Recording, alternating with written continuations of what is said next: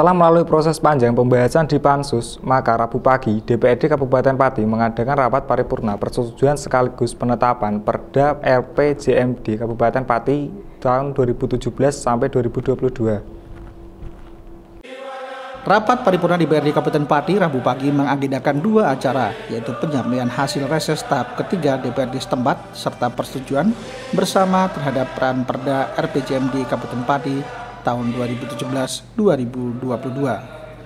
Bupati Haryanto dalam sambutannya mengapresiasi kinerja pimpinan OPD dan DPRD yang melalui tahapan panjang dan akhirnya dapat mensetujui.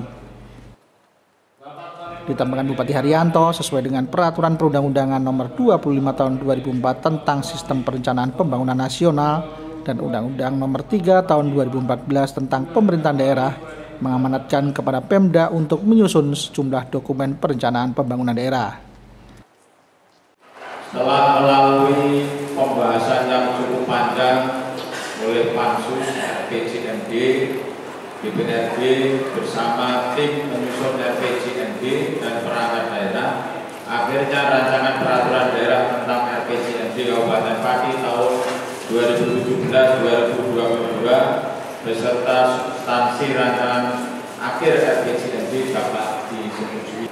Rapat paripurna Dewan yang terhormat bahwa sesuai dengan Undang-Undang Nomor 25 Tahun 2004 tentang Sistem Perencanaan Pembangunan Nasional dan Undang-Undang Nomor 23 Tahun 2014 tentang Pemerintahan Daerah mengamanatkan kepada pemerintah daerah untuk menyusun sejumlah dokumen perencanaan pembangunan daerah Dokumen perencanaan pembangunan daerah tersebut meliputi rencana pembangunan jangka panjang menengah yang merupakan kebijakan pembangunan daerah jangka waktu 20 tahun.